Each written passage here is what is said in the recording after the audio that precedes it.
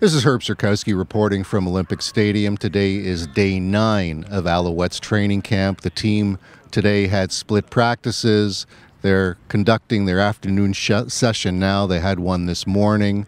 Uh, this morning, Mike Sherman, the head coach, indicated to us that he wants to take as many players as possible to the first exhibition game Thursday night in Ottawa basically his position is if you're trying out for the team, you at least deserve to play in a game.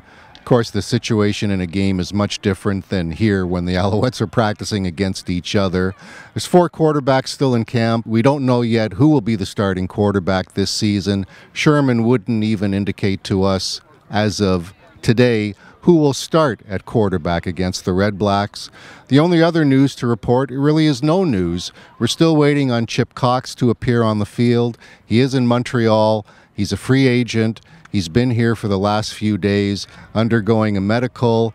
Uh, he's yet to sign a contract. Kavis Reed told me yesterday that he thought that Cox would be on the field today, Monday. He's still on, not on the field. Maybe tomorrow.